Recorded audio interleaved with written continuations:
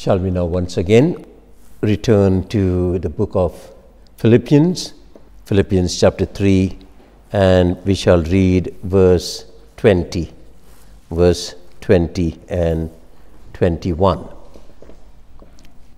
For our conversation is in heaven, from whence also we look for the Saviour, the Lord Jesus Christ, who shall change our vile body that it may be fashioned like unto his glorious body, according to the working whereby he is able even to subdue all things unto himself.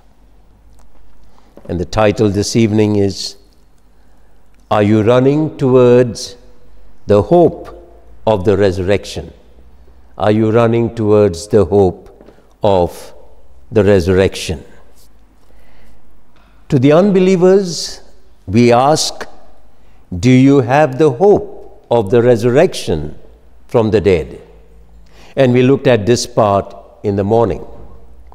But to the saints, saved by the power of the resurrection of the Lord Jesus Christ, we must ask, Are we running towards the hope of the resurrection? And this is what we are going to look at this evening. Christ has destroyed the power of sin, Satan, death, and the grave. And by doing this, Jesus Christ has become the only one that has brought immortality to mankind. Jesus Christ is the only man who, living in the human flesh, have died and have risen again to have a new body, a spiritual body, a glorious body. After Paul, the murderer, was converted to Christ by the power of Jesus' resurrection, Paul had no other focus in mind. He had no appetite for sin, nor for the things of this world. He says in Philippians chapter 3, from verse 7 onward, if we may look into this. Verse 7, Philippians chapter 3, verse 7 But what things were gained to me, those I counted loss for Christ. Yea, doubtless, and I count all things but loss for the excellency of the knowledge of Christ Jesus my Lord, for whom I have suffered the loss of all things, and do count them but dung that I may win Christ, that I may know him and the power of his resurrection and the fellowship of his sufferings, being made conformable unto his death. If by any means I might attain unto the resurrection of the dead. And look at verse 14. I press forward, he says. I press forward the mark for the prize of the high calling of God in Christ Jesus.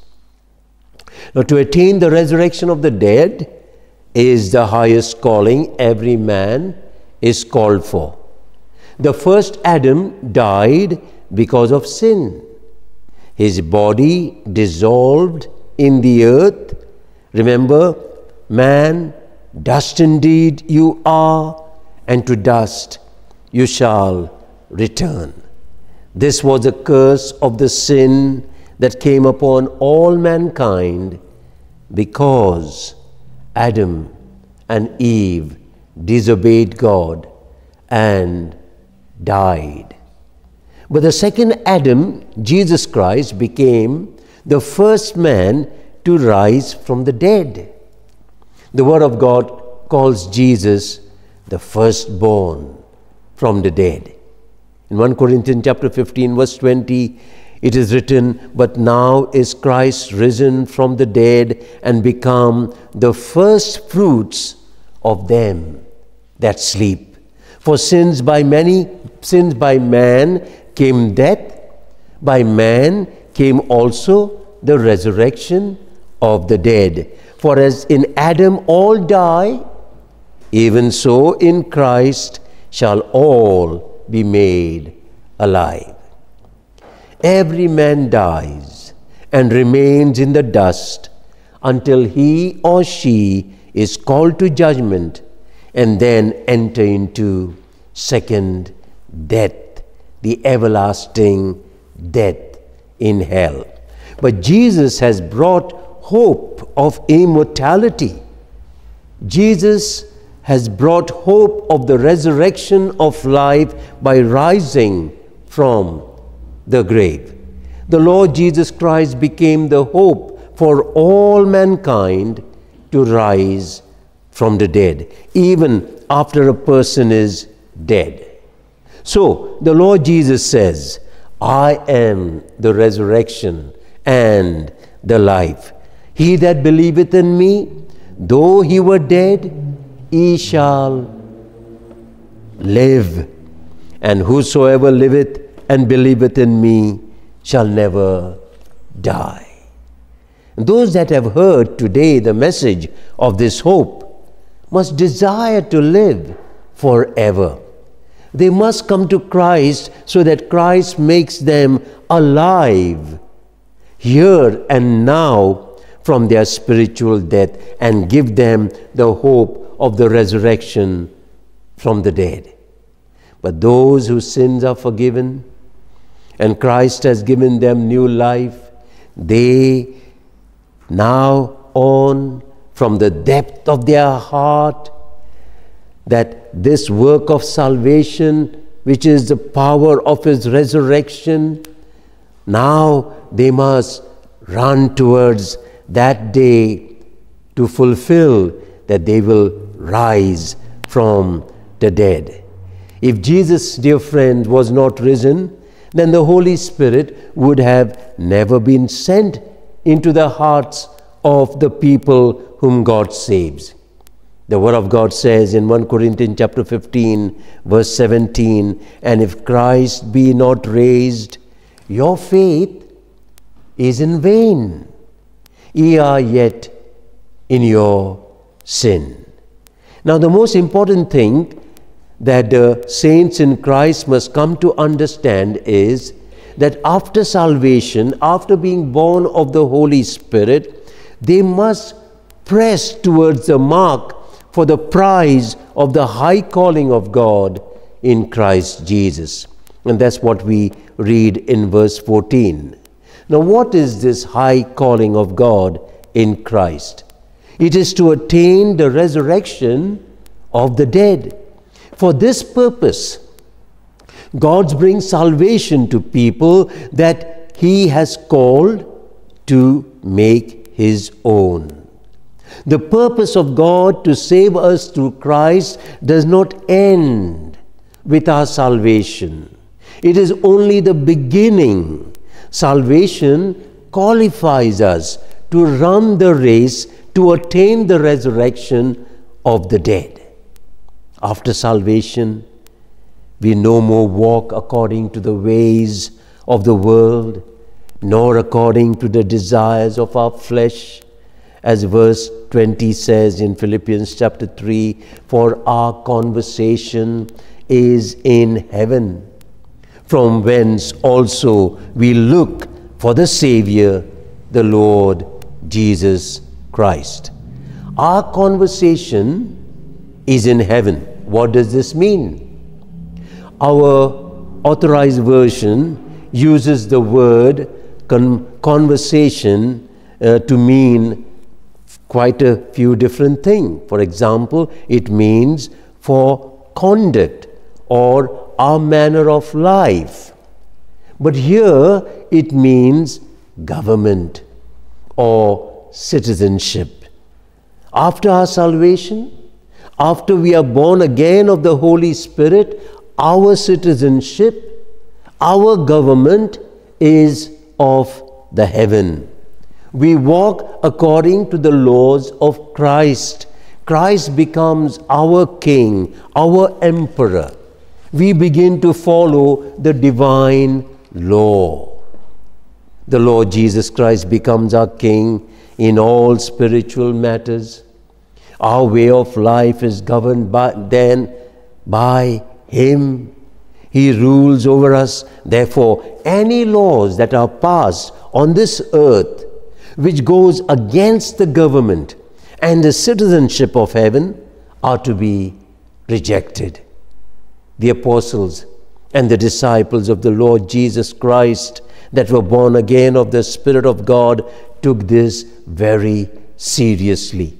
Anything that would hinder their progress towards taking hold of Jesus and attaining the resurrection of the dead, like Jesus did, was to be rejected even at the point of laying down their lives. What mattered most of all for the immediate disciples of the Lord Jesus Christ was the resurrection from the dead.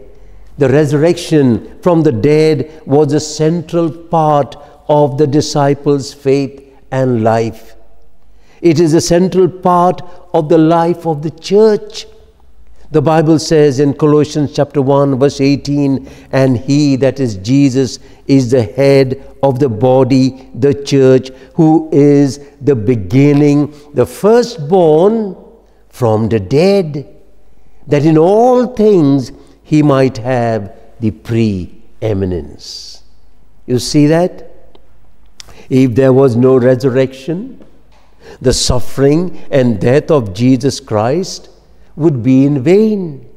Anyone could say, okay, you say Jesus suffered and died for us, so what? So what?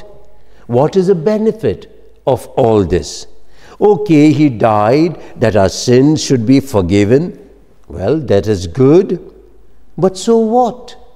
So what? I'm going to die one day anyway. Anyway, I'll be finished one day anyway. This is where the benefit lies in the suffering, the death, and the resurrection of the Lord Jesus Christ. We will not die and lie in the ground forever.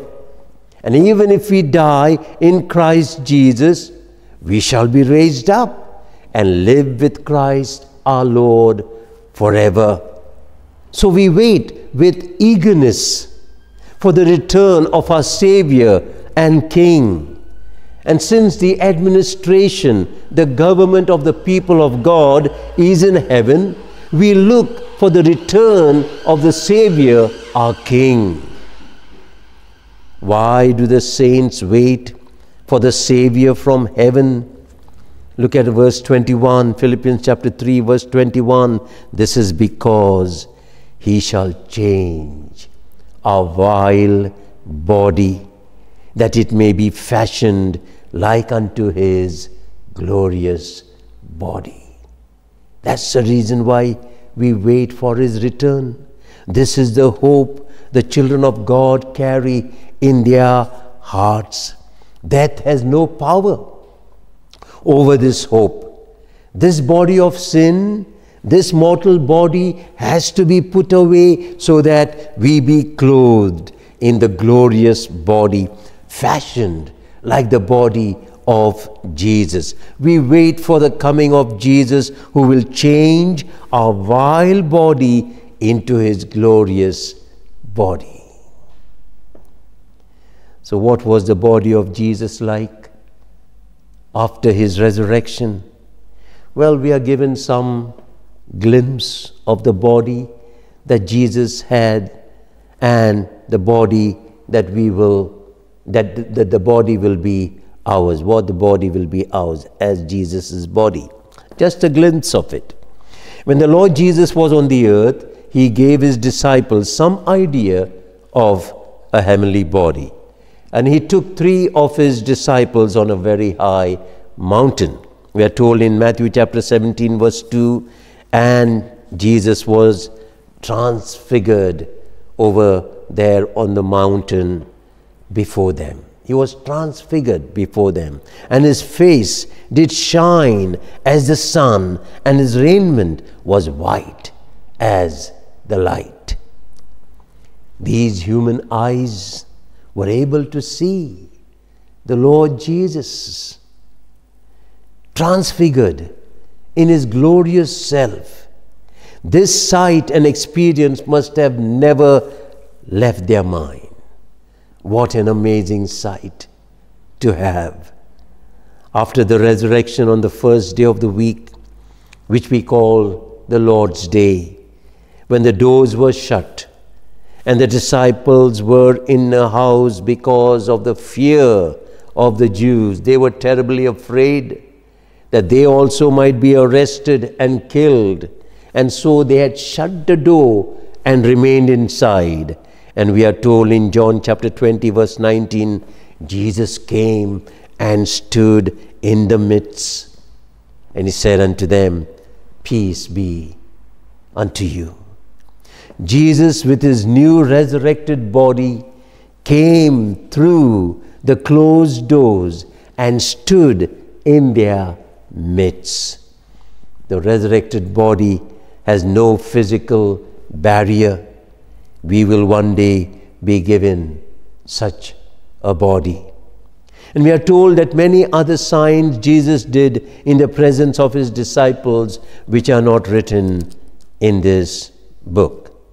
Now, the disciples, we notice, could recognize Jesus to be Jesus with a new and glorious body. And we too will able, be able to recognize one another after our bodies are raised up and given new resurrected bodies. Isn't that wonderful? Such a hope that we will continue to have fellowship with one another in the presence of the glorious God, our King. We are also told that Jesus ascended into heaven. The new body given after the resurrection seemed to have no limit on earth or in the sky. It can defy all natural forces, whether it be gravity or whatever. The Word of God tells us that the Lord shall change our vile body that it may be fashioned like unto his glorious body. And the Word of God tells us that we shall be as He is. 1 John chapter 3, verse 2 Beloved, now are we the sons of God, and it doth not appear what we shall be. But we know that when He shall appear, we shall be like Him, for we shall see Him as He is. We shall be like Him. It is difficult for us to imagine in our human mind, even in our human imagination, what exactly, how exactly we will be, but we know that it will be glorious, glorious. And once we are raised up to be with Jesus, the Word of God tells us in Isaiah chapter 25, verse 8, the Lord God will wipe away tears from off all faces. He will wipe away all tears, and the rebuke of his people shall he take away from all the earth, for the Lord has spoken. So there will be no pain, no sorrows, no death. Such will be our lives with the new body given to us. Such is the hope of the resurrection, dear brethren, from the dead. Such is the high calling God has called us for. We must keep this hope of the resurrection from the dead before our eyes. No matter what happens, we will go through troubles and persecution and affliction and all manner of things. We must be ready, especially in these days, time and days when we see the government constantly trying to provoke the church, the saints of the Lord. So we must be ready as Jesus was, as the apostles were, as the prophets were. They were always ready because they did not look on their lives here, but in the heavenly city and the glorious body that they will receive. If we do so, we shall fear no death. If we constantly remember of our resurrection from the dead, we will have no fear of death, dear brethren. Like Paul, we will say, to be with the Lord is far better. To think about this high calling, to live under the government of the Lord, will only purify us, for we shall be wanting to be like Him.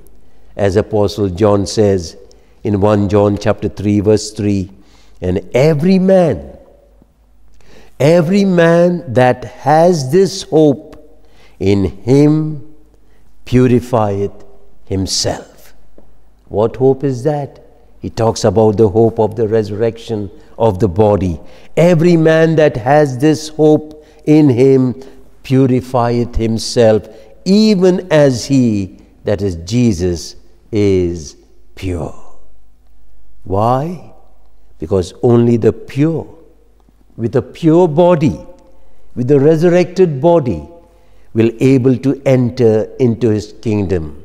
For flesh and blood cannot enter into his kingdom. Let us pray.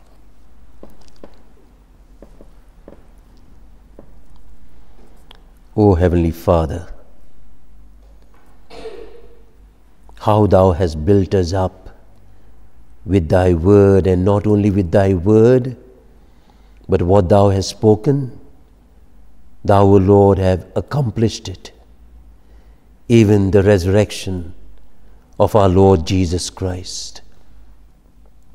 O Lord our God, there is no way that we can, O Lord, be lost because Thou, O Lord, have kept us and will keep us through all these teachings, these doctrines that Thou hast given to us, so that, O Lord, we put our faith in Thy word, and that, Lord, we please Thee in all things. O gracious Father, we pray that we will able to look into all that Thou hast taught us, and that, Lord our God, we will put our faith in Thee and not doubt and see thy blessings each day. O Lord, even when troubles and pain and afflictions and the attacks of Satan be poured upon us, O Lord, we will become victorious. O gracious Father, help us, O Lord, even today, having learnt about this high calling having learned to keep, O Lord, that we should keep the resurrection of our bodies before us and run towards it with everything that we have, that we put aside and put behind everything and run to achieve this. And it can be done only through Thee, O Lord. But Thou hast called us to run this race by faith, by grace in Jesus' name we pray. Amen.